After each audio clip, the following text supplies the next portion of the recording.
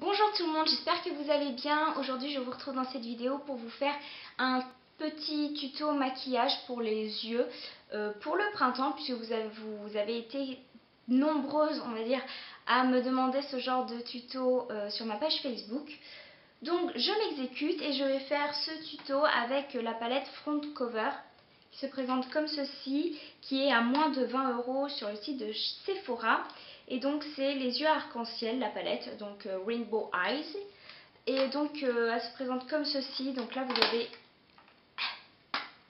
Donc là vous avez les ombres à paupières de couleur irisée.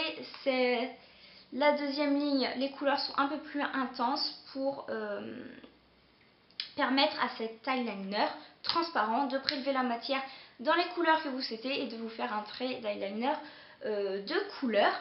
Et ensuite, vous tirez et là vous avez tout. Et ensuite vous tirez et vous avez tous les fards neutres, euh, que ce soit le blanc, le taupe, le marron, le noir. Euh, bref, vous avez tout ce qu'il vous faut et elle est vraiment géniale. Voilà, donc j'espère que ce tuto maquillage vous plaira. Je vous laisse avec la suite de la vidéo et je vous fais plein de gros bisous. Bye